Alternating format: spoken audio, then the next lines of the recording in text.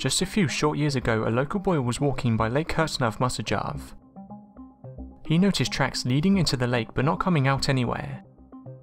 The lake was too small for boating and was located in the middle of nowhere. He knew there was no good reason for those tracks being there, which heightened his curiosity.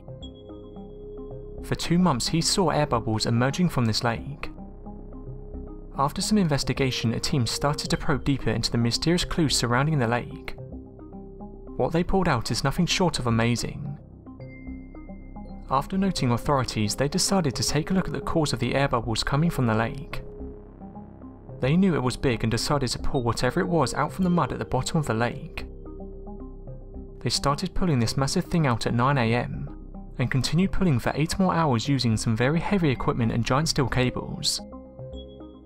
They quickly realised it was a full-size military tank, leaving people scratching their heads. The weight of the sunken tank was around 30 tons and required a 68 ton dozer.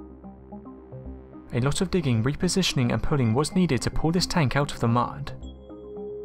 The tank was in surprisingly good condition after they got it out. This thing had been sitting beneath the murky water buried deep beneath the mud for decades. It was later confirmed this tank was captured by the Soviet army in 1944, and then used by the Germans. It's suspected that the tank was intentionally driven into the lake to conceal its location.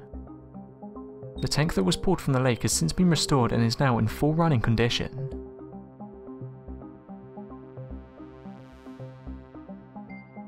Thanks for watching and don't forget to subscribe for more countdown videos.